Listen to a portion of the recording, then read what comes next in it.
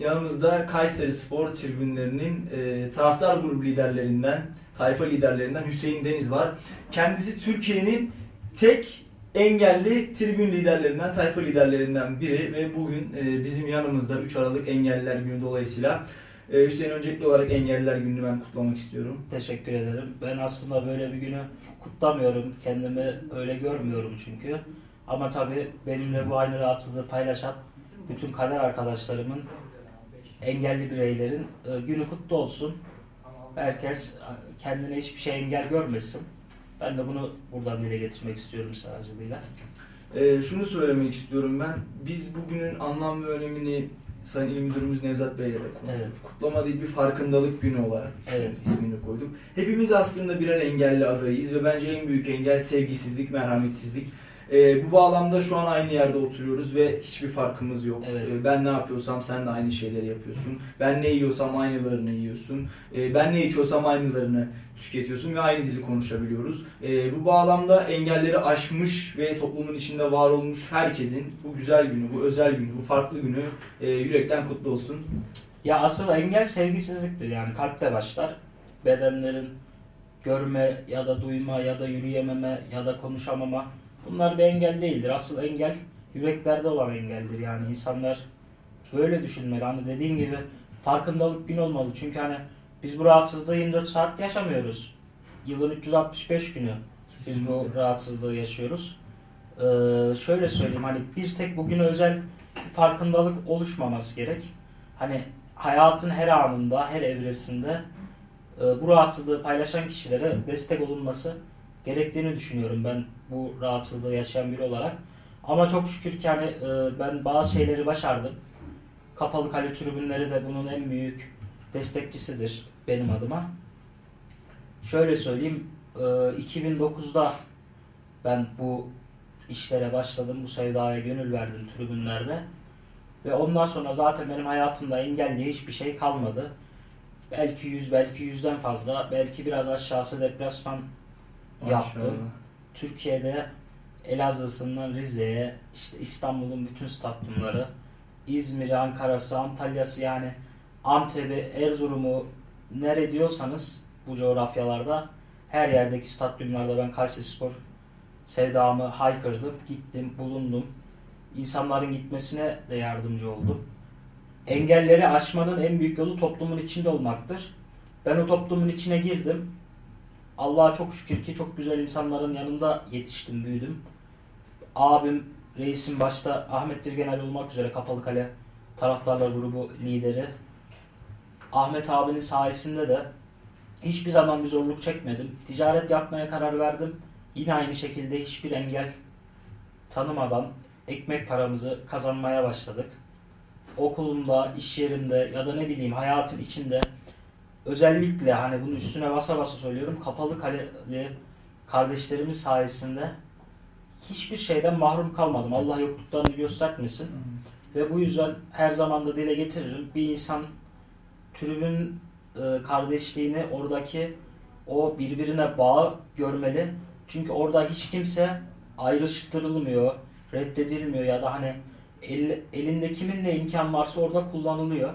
Çok şükür ki ben de öyle bir oluşumun içinde büyüyerek bugünlere geldim.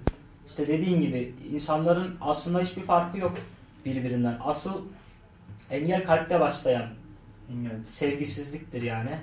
Tabi günün içinde de e, bir 24 saatim ele alırsak bunun zorlukları var. Ama arkadaşlarımız, dostlarımız sağ olsunlar, var olsunlar. Bize hiçbir zaman bunun e, mahrumiyetini yaşatmadılar. E, ailem de tabi herkesin annesi özeldir. Benim annem herkesinkinden bir tık daha özeldir. En büyük destekçim benim annem. Ona da buradan sevgiler olsun. Buradan biz de selamlarımızı, Yani sevgilerimizi hani iletelim. benim ailem ya da benim arkadaşlarım ya da Ahmet abimgil hiçbir zaman bana bir görev verirken ya da bir iş söylerken Hüseyin yapamaz ya da yapmaz işte altından kalkamaz gibi düşünmediler. Normal bir e, insana nasıl davranıyorlarsa bana öyle davrandıkları için zaten ben bütün engelleri aşabildim.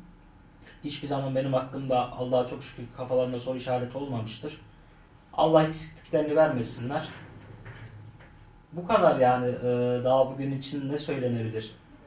bu insanlar bu işleri e, nasıl söyleyeyim toplumun içine girerek başarabilirler.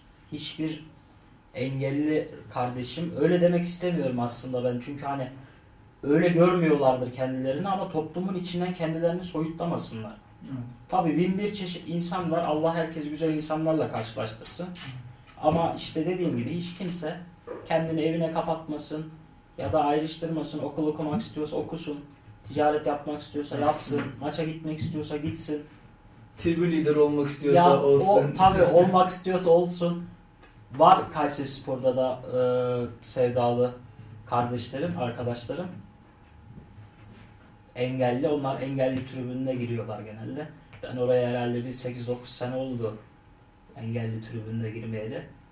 Ben kendi kuzey altımızda kapalı kalemizin beraber içinde 2 senedir de set görevim var zaten. Sette sırtım sahaya dönük şekilde desteğimi bulunduruyorum. Bu kadar. Ee, senin sevdan artık engelini de yaşamını da aşmış. Ee, belki belki de diyorum hani engelli bir birey olmasan Kayseri Spor'a bu kadar sevdalı olmazdın. Ee, belki de bu tutku seni Kayseri Spor'a bağladı. Belki de buradan da e, Sayın Ahmet Dirgenel'e de sevgilerimizi, selamlarımızı Şimdi- iletelim. Ben Ahmet abimle de bu konuları birebir konuşurken, dertleşirken şöyle bir şey var, konuşuruz bazen. Her insan hayatında bir dönüm noktası olur. Bu 10 yaşında, 20 ya da 30 ya da 40 ama bir, bir kapı vardır. O kapı bir gün açılır. Bana bu kapı ben 8-9 yaşımdayken çok şükür ki açıldı. Ve oraya girdim. Orada kendimi kanıtladım. Onlara kardeşlik edebilmenin gururunu yaşadım bu takımın bir taraftarı, bir bir yerinde ufacık bir söz sahibi olabildiysek bize ne mutlu. Ben bunları başardım. Bunları da tek başıma değil dediğim gibi Ahmet Reis'in, oradaki abilerimin, kardeşlerimin desteğiyle başardım. Tek e, en güzel yanı şudur. Bizim toplumumuzda vardır acıma duygusu. Acıyarak ya da insanlara ah vahla hiçbir yere varılmaz. Maalesef. Ma yani bugünün aslında bu konunun ders olarak verilmesi lazım. Acı, nasyon o farklı bir şeydir. Kendini üstün görmektir. Mi? Üzülebilirsin. Ben sen hastalanırsın. Senin hastalığına üzülebilirim. Bu Kesinlikle. farklı bir şey ama sen hastasın diye gel git diyemem sana anlatabildim mi? Yani bunu aşması gerek Türk toplumunun. Ben böyle düşünüyorum. Dediğim gibi Allah da biz ömür verdikçe ben inandığım her şeyin peşinden koşacağım yani. Dediğim gibi e, yapmak istedikleri ne varsa bu engelli kardeşlerimin yapsınlar.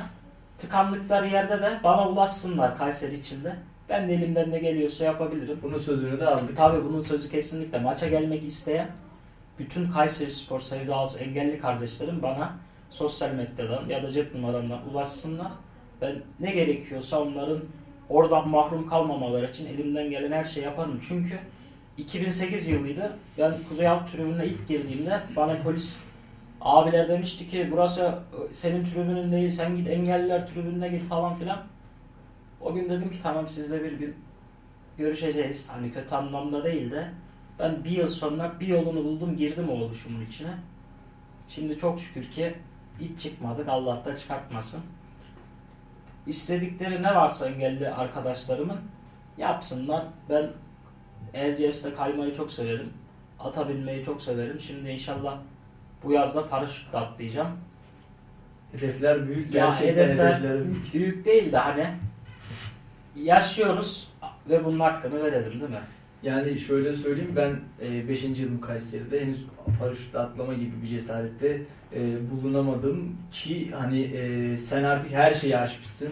Spor, sevgi, sevda, bir amaç e, insana bütün engelleri aşıyor. Bu engel sadece bedensel bir engel değil, zihinsel de kafamıza set çektiğimiz şeyler de aslında bize engel olabilir. Evet. E, yürürken ben koşamam, ben yapamam dememiz bile bizim aslında hayatta kendi kendimize koyduğumuz Ya en o- büyük engeldir. Onlar sadece bir araç ya da gereç nasıl denir? Yürüyememek ya da koşamamak, oturmakla yürüyememek arasında bir fark yoktu. Ben her zaman şunu söyledim. Ben yürüyemiyorsam da benim kardeşlerim, arkadaşlarım var. Ben arkadaş lafını kullanmayı pek sevmem. Benim dostlarım var, kardeşlerim var. Beni sırtında taşıyacak güvenliğim çok fazla insan var bu şehirde. Allah eksiklerini göstermesin. Ben hep işin biraz polyanacılık, biraz da bu tarafından baktım. O yüzden e, bugünlere gelebildim. Rabbim gücümüzü eksik etmesin, itibarımızı zedelemesin. Şunu söyleyebilir miyiz? Son olarak fikirlerini almak Evet, isterim. tabii ki. Bir düşünürün çok ünlü bir sözü. Benim de çok hoşuma gider. İnsana der en büyük engel insanın kendisidir. Zihin işte her şey burada bitiyor. Buraya koyarsam yapamayacağın hiçbir şey yok. Ben buna inanırım. Ha de ki niye yürümüyorsun?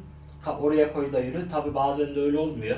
Bazı şeyler önüne geçiyor insanın ama burada eğer e, buraya koyup da gerçekten istiyorsan her şeyi yapabilirsin. Ben buna çok e, yürekten inanıyorum ve o yüzden de zaten bugünlere gelebildiğime inanıyorum. Tabi buna tekrar tekrar dediğim gibi kapalı kale tribünlerinin %90 çok büyük etkisi vardır benim üzerimde. Çok emekleri vardır. Allah hepsinden razı olsun herkese. Ben teşekkür ederim. Yine telefonum yoğun bugün. İnsanlar arayıp günümü kutluyor. Hatta günümü kutlarken de çekiniyorlar. Çünkü beni hiç o sıfatla adlandırmadılar. Öyle görmedikleri için.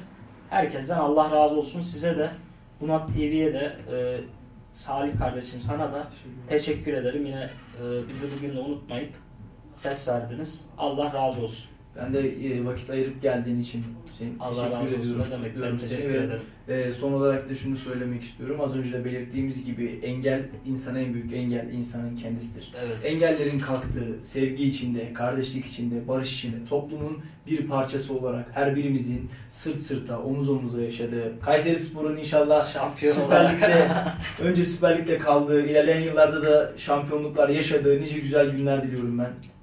İnşallah Kayserispor içten rahat olsun herkesin. Bu şehir korkmasın çünkü bu şehrin bir kapalı kalesi var. Biz sonu nereye varırsa varsın takımımızın ve yanındayız. Bu kötü günlerden de Allah'ın izniyle çıkacağız. Teşekkür ederiz.